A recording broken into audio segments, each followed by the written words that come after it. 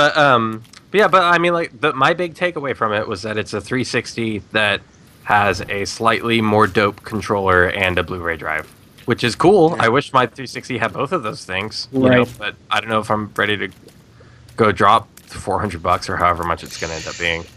Yeah, we'll see. I, what what what do we think for And price? what- Do we think five and three if there is a subsidization? I, I would, I would, three.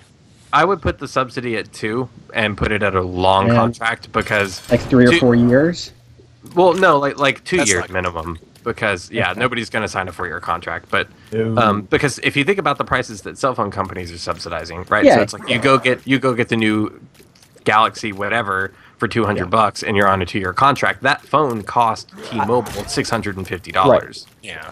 You know, so Well, so yeah. even if even if the retail SKU is between four and five hundred and fifty bucks, you know, or like three fifty and five fifty, like I would assume And, that the uh, contract version will end up being at two. In these situations, are you imagining like is the contract directly with Microsoft? Like, is that I don't know what they've been doing with the 360. I know they had a subsidy Right. version of that, but is it with Microsoft directly?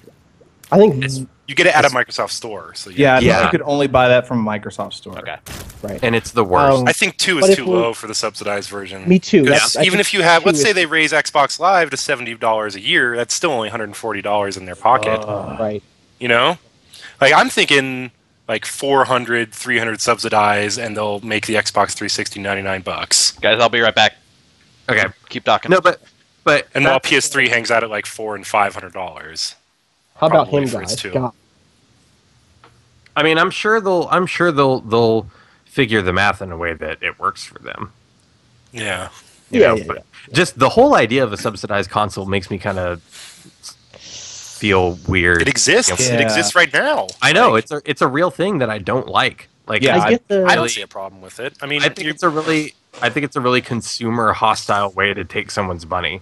Yeah, I get- I mean, me okay, so what's an Xbox 360 without Renaissance. Live? Do what? What? How? How super useful is an Xbox 360 without gold? An Xbox 360 I don't without have gold. gold is Yeah. only going to take Can't your watch money Netflix? right now, Can't and use it's internet. not going to be Explorer. something that you're not interested in as soon as the new thing comes out. You see what Dylan I'm has a saying? point. Yeah. How Guys, would I'm, I here. even? I'm here. I'm here. How would I even Bing something if I didn't have?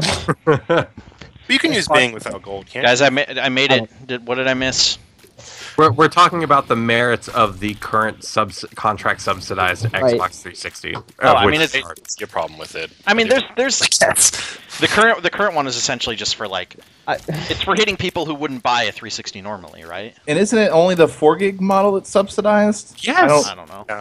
It's Yeah. the one that's not worth owning, and you end up paying too much money for it for a product that you can't get rid of whenever the new, better one is out. Yeah. Which is the main problem. And it's like, okay, well, so now the Xbox One is out, and I want that instead of this Xbox 360, but I'm locked into my contract for another year and a half, so I have to pay an early termination fee that I don't know the But specific do you- figure, I'm but actually it's probably curious more than I it mean- would cost to just buy an Xbox in the first place. The iPhone not- 4, 5 is out, but I question. Does having Xbox Live that's actually can't so buy it until my contract is up with AT&T since I only All got right, the same on, idea. Hold on a second, guys. I got that was some weird Skype Right. issues there. Yeah, sorry on me. I, I had like Dylan was like lagging and stuff too. Oh, okay, dear. so maybe all around. But Might have here's, been so here's the question Uh-oh. right now for You have to do that question again. okay. Well, yeah, this is this is on me. I think. Austin, I hate you right now.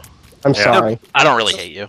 Dylan, Yeah, I get what you're saying, and like the situation is the same. Like you can't buy an iPhone 5 because you're waiting for your iPhone 4 contract to run out. But like, just because that's the way that it is for cell phones doesn't mean it doesn't totally blow. Like that's. Oh no, I'm not saying it's great, but I'm just saying it's at this point it's an accepted consumer thing. Yeah, Yeah. it's, it's not. that. It's not an absurd idea, which is the sad part to me because like I think it should be. And Yeah. I mean, in the end, like I said, Xbox Live is essentially a mandatory like subscription. Mm-hmm. Not qu- It's not like needed, but it's pretty close. Like, can't do a lot of stuff on an Xbox without gold. Yeah, I mean, we've accepted at this point that like I mean, it seems like most people agree that uh, Sony's probably going to do a s- new subscription service as well. well, they've talked Yeah. about doing different sub- sur- subscription levels, but they haven't said anything specific about what they I would be I would be really shocked. I mean, like happy, but shocked if they don't end up doing one as well. Yeah. Man, they could charge me a Like hundred. something more so more than more than PlayStation Plus, I guess is what I should say. They could charge me hundred dollars a year for PlayStation Plus, and I'd pay it. It's a good PlayStation. Plus has gotten pretty baller. It's really good. Of course, Unfortunately, it's gotten to the point where I don't see a need to buy a lot of PlayStation 3 games because I'll get them for free eventually. but That's my- my problem with compu- with PC gaming. It's like I built a gaming PC last year, and now I don't buy games when they're new because I know eventually they'll be on sale on Steam, and I can get them that way. Yeah. but I mean, we talked. Uh, well, one of the few things Well, I can that- remember that, from that uh, start stream. Sorry, I was just gonna throw out. Um, somebody on Twitter today was asking me like, why are people mad about the potential of not having used games on the uh, on the Xbox One when that's how it's been on? Like, why are people okay with that being that way on PC? And I was like, well, big difference that I see is just that like stuff goes on sale on PC and on Steam so often. Yeah. Exactly. I don't see that happening unless Microsoft gives publishers control over their own prices. Yeah, which would be don't see that great, but I I don't know. yeah, they're Then not plus, cool. I mean, There's there's never, there hasn't been a history of I can take this disc out of my Exactly. PC, bring it to my friend's house, and we'll play Street Fighter. Exactly. Like that's that's something that changed in PC culture, like you know, decades ago, right? Yeah. There's, there's also no mainstream culture nowadays for trading in PC games, which is a huge part of the console ecosystem. Mhm. Although they have said there's going to be a trade-in.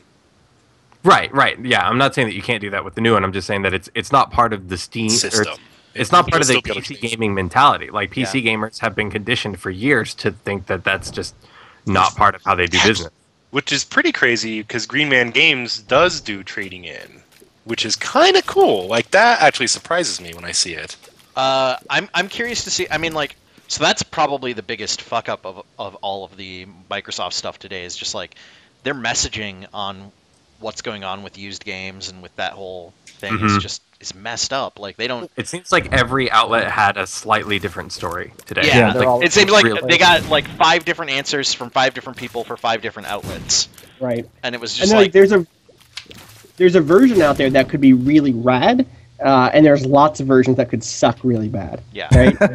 um, but like, so one the one uh, I guess it was the Kotaku story where someone said, uh, "Oh, you'll be actually be able to trade trade games with your friends on Xbox Live," and that would Yeah. be incredible. That'd be Um, There's like there's a version of that that is rad as hell. Uh, there's also a version of that that is just like a nightmare because that's what you have to do when you go over your friends or blah You blah blah. Right, rebuy Like, the whole game. right. But yeah, and there's also there's also a version of that that's like, I mean, even if that's possible, that still cuts out that like gets rid of the whole, at, at least at face value, without some some sort of extra systems, it get, gets rid of the current model of used games, it does. Right. It absolutely. And- does. which I know a lot of people would be okay with, but but I think that the used game market serves a really good purpose. I, Yes, yeah, I am really torn on that because yeah, on one hand, I, I absolutely think I, I get why if you're a developer or a especially if you're a publisher, why you don't like the current used game model. Um, but that said, I don't know why the I don't think publishers would really like this ideal trade. You It's know, not any uh, better friends trade. for It would be really bad for them too. Because then I'd be like, oh yeah, I finished you know whatever Mass Effect three. Uh, year you know a year ago you haven't played it yet here you can have my copy like yeah, totally. Well, the, the most recent version I've heard from Microsoft is actually somewhere in the middle, which isn't too bad. Which is you Mhm. can take a game to your friend's house, Right. play it on your Xbox account, on his Xbox. It installs itself because all games have to install completely to the hard drive, which is pretty crazy. yeah. Um, and then if he wants to later play the game, he just has to buy a license, like for an Xbox Live Arcade game. Right. He has- Exactly. So it's so it's like That's cool. So it's like I'm you cool install the game on your friend's Xbox, and then you pick up the controller, and because of its biometric, whatever, it knows who you are. Right, Oh, so you you just scan like- your heartbeat. Cloud account because you're of course going to have an Xbox Live Gold account. Right, of course. And so it the it measures your heartbeat with its laser camera, and then it knows you know like uh, your social security number and stuff, and so it knows that you bought the game, and so it lets you play it. But as soon as you leave the house, then a cage drops around the Xbox until they give it a hundred dollars for the game Right. again. And I don't I don't want to get too much into Austin's territory, but I think this is another opportunity to follow the money. I, you know There's what? always I'm an gonna- If I, if I, follow the money. you mind let you if I I don't mind. You know what? I, I'm about knowledge and I'm about I'm about you know people information. I'm about information. That's what this is about. Okay. So if you have information to give me, I do. give me that information. All right, so most of the bad news today about used games came from one person, Phil Who's that? Harrison, Mm, Mhm. who, as we know, used to work at Sony. we And they were having a console launch of similar disaster proportions. I mean, it's obvious he's a plant. From he still works for Sony. Follow Oh the money. All the money he still he still works for, man. It He's makes sat so much sense now. Microsoft in the eyes of the hardcore gamer in order to get Sony the favor back. It only it only makes sense. All right, if you follow the He's money. gonna, you know what? Of You know what's gonna happen? It's gonna be WrestleMania, and he's gonna be in the middle of the ring, oh, and all of a sudden it's gonna be like, wait a second, wait a second, is that is that is that Sony's music? And he's gonna rip off his T-shirt, and underneath it's gonna say like PS4 for life, and it's it's I can't wait, I can't wait, I'm so excited. It's gonna be great. Sting is gonna walk in in a New World Order shirt, just start wrecking fools. Fuck, that would be the best E3 ever. I seriously would like that so much. Because I feel that's what's gonna happen. Is that Sony's music? Sony's music. What is oh that God. exactly? Oh my God! That son of a bitch. My God. it was me, Austin. It was me all along. Uh, okay. I don't know. I don't know where to go from there. And then, of course, Peter Moore runs in with the Stone Yeah. Cold Stunner. Boom, takes them both out. EA console at E EA. Peter Peter Molyneux jumps into the ring, opens up Curiosity, and what's in the cube? It's a folding chair. Well, bam!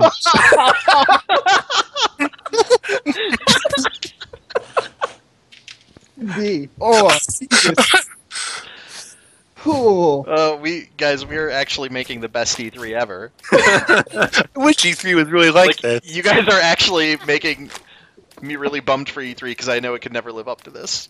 this is I, Phil. I was thinking about this the other day, and this is probably going to be the biggest E3 that like we cover. Oh, absolutely. Yeah, no, I, I was freaking out last year because I was like, you know, first E3, uh, I- I guess, and the year before that when the Wii U was Mhm. introduced, but first E3 where I really get to cover a new console. But I was expecting last year to actually see uh, new what was new from Sony and Microsoft also. Right. So like, yeah, this year is going to be no gonna be Nintendo. huge. This this year's gonna be whack. No Nintendo. Well, see, I'm it's really bummed. weird. They're there. Yeah, that, that's the thing. Nintendo was like, we're not doing E3 this year, but Right. we're gonna have a booth on the floor, and also They're we're bringing still inviting E3 everyone you. to come see our games. So it's I like, get- what is different? at Nintendo all? has some top tier conferences though. Like every Nintendo meme came out of a conference. All of them. Right. It's true. They'll No one's body can be ready. No, that's Alright. not true. They'll still do. There's, there's, they will still do a Nintendo Direct. Like, Yeah. we'll still get Iwata holding fucking bananas or whatever. Like, You know, Wada holding bananas stinks compared to I'm here to what is it like? What the hell was Reggie's thing? Now I can't even remember. This is terrible. I'm here to kick some ass and play some games. Sure. something like that. Yeah, guys, Oh. I can't. I, Oh, I can't damn it. lie. I'm just. I I'm still this? thinking about E3 as WrestleMania. I'm picturing Oh. Jason Rubin in the in up in the rafters. No one's seen Jason Rubin since THQ closed down. What's he What's he doing? Oh wait, I can't this wait. is perfect. This is the perfect place for Wada to show up. Like, you know, the coffin opens, and Wada's alive, man. Oh, and in his hand, he has the Wii U 2. oh God. The Wii U was uh-huh. just a, a, a classic misdirect by his manager. Of course. Guys, I made a oh. terrible mistake. What? Did you get that cat? Yeah. Oh. Why'd you get the cat? Don't you know we're all about Bear dogs? comes With Iwata's long lost brother that you thought had died years before in the funeral home. Oh, sweet. I can't wait. Me either. And then Keiji Inafune and Phil Fish come in, in a, uh, as a tag team that hates Japanese team. games. Yeah. Oh, this Careful with wrestling, you So guys. it's three now. What What is the name of this wrestling league? Real life, man. Just real life. What are you talking about? We have to find some way to work in like Yves Guillemot too. Like all of a sudden out of nowhere. Oh, can we? Oh my God, Ubisoft conference this year. I'm so. That's what I'm legitimately excited. I mean, for. that's my favorite every year because it's so ridiculous. Like, Like- It's it's Yeah. consistently the most painful. What they need to do is they need to bring back Aisha Tyler. 'cause She was great. yeah, She was, great. really good. I got killed Well- by a fire. I got killed by. Ugh. Phil, I- I can't do this. I can't do this. Cameo appearance, Mr. Caffeine. Because he's the best thing that ever happened to Ubisoft, pretty much ever. Like there could not be a, a let's say a comedian for the sake of argument, because we have nothing else to call him. All right, there could not be a comedian that fits French sensibilities as as Mr. Caffeine, right? Like he's like perfectly tailored to like the French audience. They loved him, I'm sure. Was that the dude during? Which guy was that? Which Was- Oh, Yep. Yep. right. Uh, you know, you know what I didn't think about. Now that next gen is Like- actually here, you guys, we might actually finally see, and maybe I'm getting ahead of myself, but we might actually finally see Beyond Good and Evil 2. No. Mm, not this year. Man, if Ah. you want a a wrestling plot line, what about Patrice bust into that Ubisoft? oh, that would be the best. With a folding chair, just takes everybody out on stage. Shows Nah, off at this rate, I see 66. more of like a shadows of the Beyond Good and Evil Kickstarter coming from Oh, him. oh God, that would be rough, man. Something like that, you oh know. man, do you guys think Patrice is going to kickstart something? I bet you Patrice will kickstart something in the next year or two. He's probably one of the few people working right now that I would trust my money with. He's not working right now. That's the problem. yeah, that is the problem. Maybe you just go work at Precursor or whatever the heck that studio is oh, called. Yeah, God, stream- no. The stream's not down, right? I saw somebody in the chat, Spooky yeah, Attic says. stream is up. Okay, Stream was, somebody said, was little. Spooky Attic said R.I.P. stream, so I worried. It was a little. Maybe we were talking about wrestling too much. Maybe. By God. Dennis Dyack rises out of the floor and like wipes everyone's memory, and then everybody just sees the Oh. game startup screen. Ugh. God, Dyack. I'm kind of excited for Shadows of the Eternals. It's, If it I- if exists, it, if it not- actually happens, it's It won't gonna happen. have funding, man. I really want it to happen like so What's bad. that Kickstarter at right now? Not Low. Not enough. This is something that I've not been able to find an answer for anywhere. Is they said straight up we can't do a Kickstarter because we're in Canada, and then like four days later they were like, "Hey, check out our Kickstarter." Because you just have to have someone with an American bank account. Yeah. basically. Is Like, that it? Kickstarter. Yep. Yeah, you have to have an American bank account. Yeah, so I don't think I don't think they actually ever. I could be wrong. I don't Ad- think they actually ever said that they couldn't do it. I think that was like the people like came up with that explanation because it's in like the Kickstarter FAQ. Right. Mm-mm. And it's been a thing before where Canadian companies have had to have someone that lives in America make the Kickstarter for them, essentially. The uh, Shadows of the Eternal Kickstarter is at eighty-seven thousand dollars out of one point three million.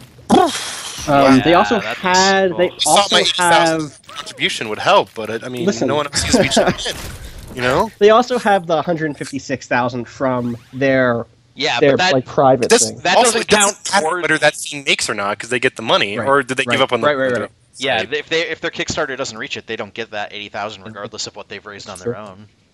Oh yeah, that's true. Mm, they should have done Indiegogo.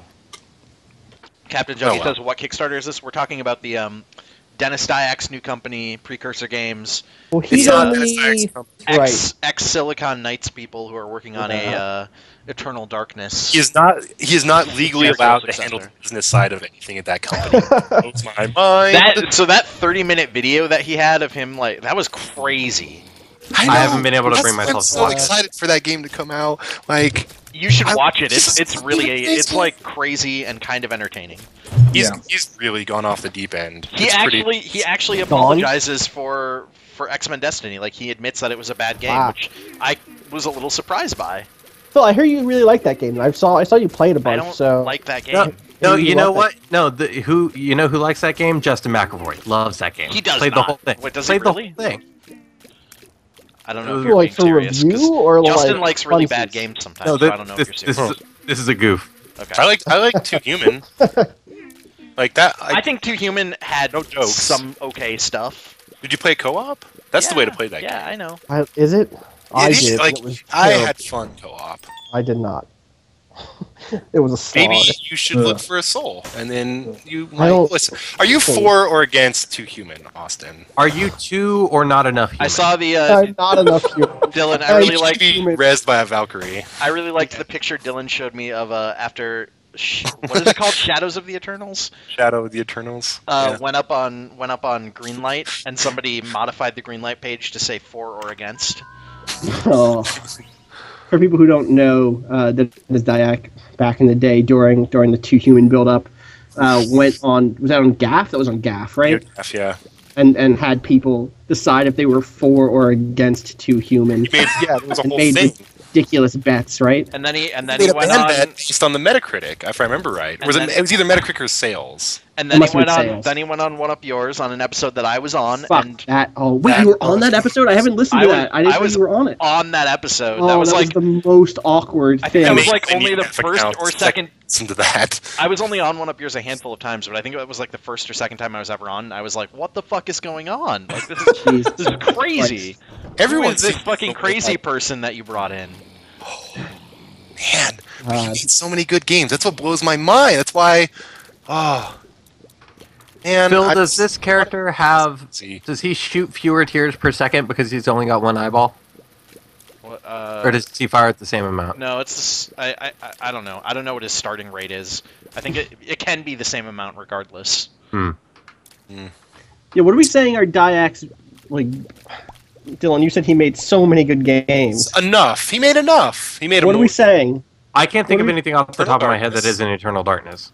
Um, Well, Twin uh, Snakes, which he didn't make, but I thought it was like a really good version of that game. Yeah, whatever. I know everyone hates that. He made. Um, I mean, Twin Snakes Soul- Twin Snakes was fine, but it was fine because it was like Right. it was mostly Metal Gear Solid or Blood Omen. It was Right. Blood He did Omen. a Blood Omen Legacy Yes. of Kain. Great game. And That's Just don't. And Eternal put him in Darkness. money. Don't put him in charge of money. He'll be fine. He'll be alright. Yeah. Don't put him in charge of money. Don't let him talk to anybody, or let him talk. or or just let him keep making those 30 minute YouTube videos. I just want a like a daily 30 minute video diary from Dennis Dyack. Stretch goals. I think I'm gonna try and have him as a guest on Raising Vana'diel. I'm pretty sure. well, I'll just call him and be like, please, like, please come on Please, we'll my pitch your game. show and please talk about Shadow of the Eternals. Like, Let's you- be Is real. it too late, like Dylan? I will can't throw be you doing only anything Please, Dyack. Is it too late to change the name of Raising Vana'diel to My Chocobo Show? Because I think that's so simple it works. Yeah, shit. Oh well. I'm almost done with that. That blows my mind too. Are you? Hell, Are you going to raise another almost Chocobo? Uh, no. Well, because the Final Fantasy 14 beta starts in like two Oh, weeks. right, right, so, right. I mean, priorities, Austin. Come on.